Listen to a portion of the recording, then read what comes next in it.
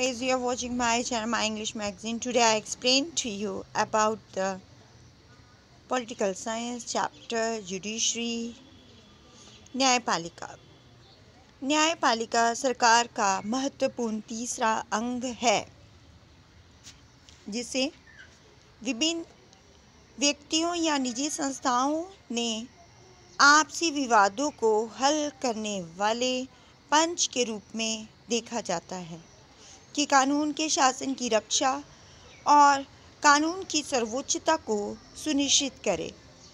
इसके लिए ये ज़रूरी है कि न्यायपालिका किसी भी राजनीतिक दबाव से मुक्त होकर स्वतंत्र निर्णय ले सके।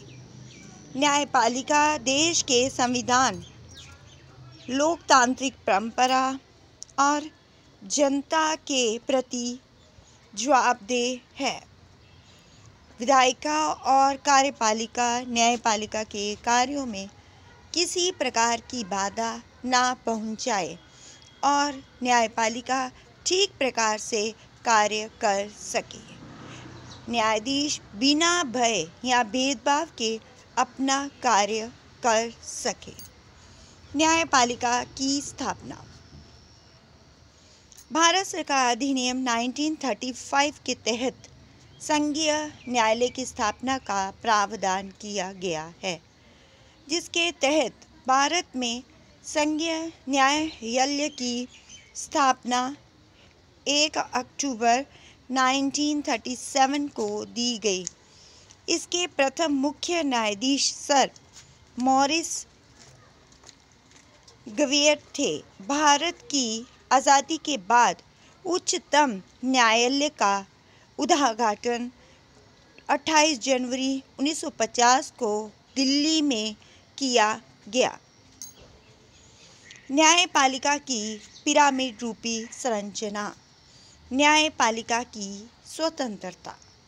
न्यायपालिका की स्वतंत्रता का अर्थ है कि सरकार के अन्य दो अंग, विधायिका और कार्यपालिका न्यायपालिका के कार्यों में हस्तक्षेप करके उनके कार्यों में किसी भी प्रकार की बाधा ना पहुँचाए, ताकि वे अपना कार्य सही ढंग से करें और निष्पक्ष रूप से न्याय कर सके।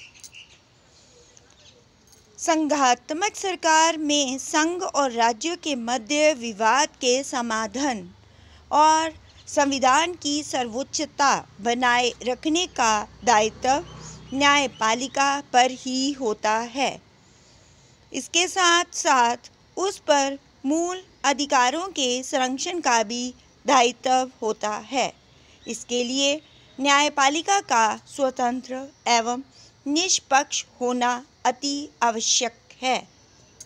सर्वोच्च न्यायपालिका का गठन सर्वोच्च न्यायालय के गठन के बारे में प्रावधान, संविधान के अनुसार 124 एक में दिया गया है, अनुच्छेद 124 एक के तहत मूल संविधान में सर्वोच्च न्यायालय के न्यायाधीशों की संख्या, एक मुख्य न्यायाधीश तथा सात अन्य न्यायाधीशों को मिलाकर कुल आठ रखी गई।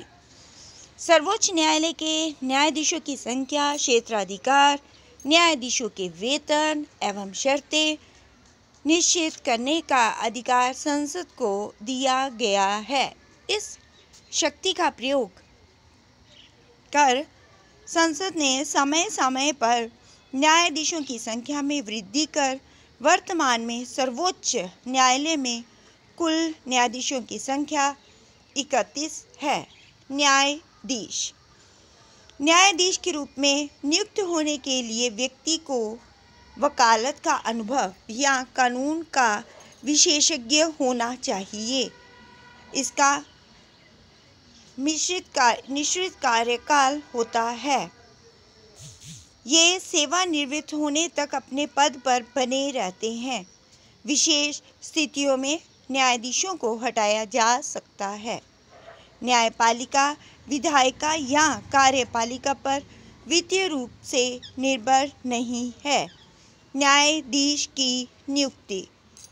मंत्रिमंडल, राज्यपाल, मुख्यमंत्री और भारत के मुख्य न्यायाधीश, ये सभी न्यायिक नियुक्ति के प्रक्रिया को प्रभावित करते हैं। मुख्य न्यायाधीश की नियुक्ति के संदर्भ में ये परंपरा भी है कि सर्वोच्च न्यायालय के सबसे वरिष्ठ न्यायाधीश को मुख्य न्यायाधीश चुना जाता है। किंतु भारत में इस परंपरा को दो बार तोड़ा भी गया है। सर्वोच्च न्यायालय और उच्च न्यायालय के अन्य न्यायाधीश की नियुक्ति, राष्ट्रपति, भारत के मुख्य न्यायाधीश की सलाह से करता है, ताकि न्यायालय की स्वतंत्रता व शक्ति संतुलन दोनों बने रहें। सर्वोच्च न्यायालय के मुख्य न्यायाधीश की नियुक्ति। सर्वोच्च न्यायालय के मुख्य न्यायाधीश की नियुक्ति भारत के राष्ट्रपति द्वारा किया जाता है। सर्वोच्च न्यायालय के न्यायाधीश को पद से हटाने की प्रक्रिया महाभियोग द्वारा अयोग्यता का आरोप लगने पर विशेष बहुमत से प्रस्ताव पारित दोनों सदनों में बहुमत के बाद उच्च न्यायालय का गठन। संविधान के भाग छः अनुच्छेद 214 से 232 में राज्यों के उच्च न्यायालय के बारे में प्रावधान किया गया है। उच्च न्यायालय राज्य का सबसे बड़ा न्यायालय होता है। Okay guys Thank you guys. You're watching my channel, My English Magazine. My name is Sangeeta Mehta and you're watching my channel, My English Magazine on YouTube. Thank you. Thank you guys.